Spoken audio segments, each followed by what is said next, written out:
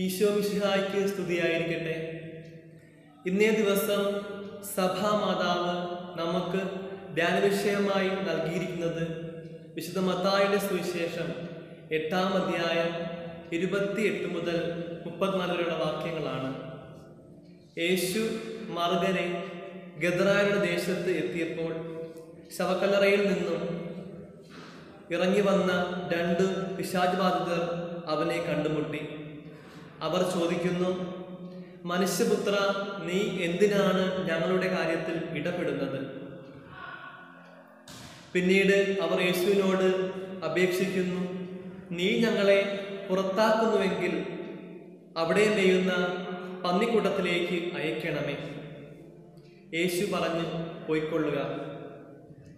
അവ പുറത്ത് വന്നതിന് ശേഷം അവിടെ നെയ്യുന്ന പന്നിക്കൂട്ടത്തിലേക്ക് പ്രവേശിക്കുകയും പന്നികൾ ഓടി കടലിൽ മുങ്ങിച്ചാവുകയും ചെയ്യുന്നു. പന്നികളെ മേയിച്ചിരുന്നവർ ഇത് കണ്ട് ഭയപ്പെട്ട് പട്ടണത്തിലേക്ക് ഓടി നടന്നതെല്ലാം ജനത്തെ അറിയിച്ചു.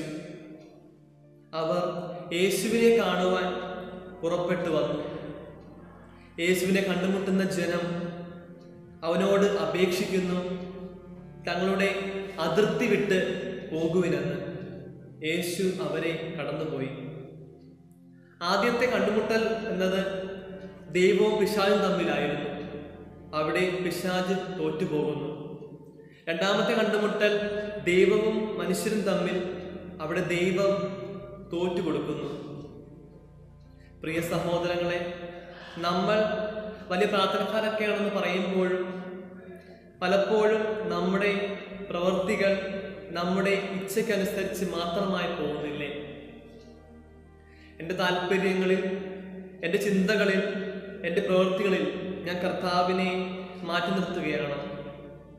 ഞാൻ ദൈവത്തെ അറിയുന്നു എന്നതിലല്ല ദൈവം എന്നെ അറിയുന്നു എന്നെ അറിയുന്നുണ്ടോ എന്നതിലാണ്. എന്റെ രക്ഷകനായ ദൈവം എന്നിലേക്ക് വരുവാൻ ഞാൻ എന്റെ താല്പര്യങ്ങളെയും എന്റെ പ്രവൃത്തികളെയും എന്റെ ചിന്തകളെയും ക്രമീകരിക്കുന്നുണ്ടോ?